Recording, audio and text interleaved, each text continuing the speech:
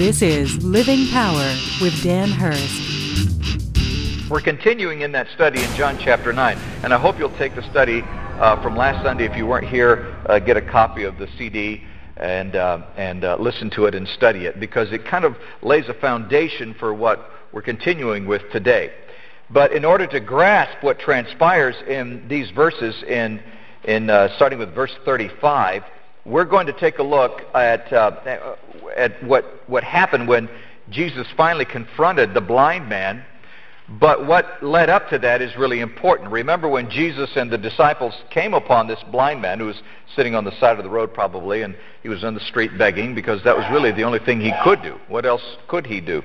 And the disciples asked a question of Jesus that was based on common belief of that day. They said in John chapter 9, verse 2, and the disciples asked him, Rabbi, who sinned, this man or his parents, that he was born blind? Now, that was a common thought in that day. A lot of people still think that today. They, they think that if you suffer, it's because of your sin or because you're under some sort of curse. I, I can't tell you how many people still today that I talk to say, well, I, I feel like I'm under a curse you know, that, that God's punishing me for something, that something happened in my life and I'm being punished for something. The idea that you're suffering as a punishment for something that you did or that your parents did.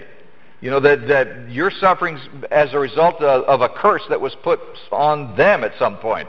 And uh, that was a common belief of that day.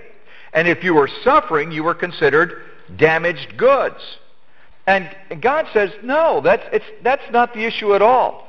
God, first of all, we need to get that completely out of our thinking because the punishment that God provides was already done on the cross. You know, the punishment for your sin was already taken care of on the cross. Now, there may be some discipline in your life, but discipline is very different from punishment. Punishment is retribution for doing something wrong. Discipline is God getting you to do the right thing. And so there may be some difficulty involved in, in that disciplinary process.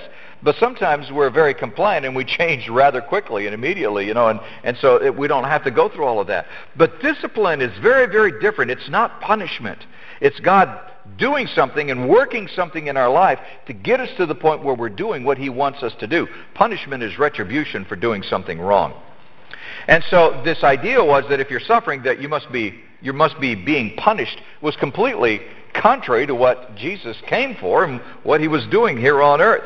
And so they said, well, who sinned, this man or, or, his parents, and is he under a curse, or what's the deal? And Jesus' response was very curious. In verse 3, he said, it was not that this man sinned, or his parents, but that the works of God might be displayed in him. God said there's, it's, it's not that God intended for this man to be blind, but God will use the circumstances in his life to accomplish his glory, to accomplish his purpose and his plan. That's true in your own life.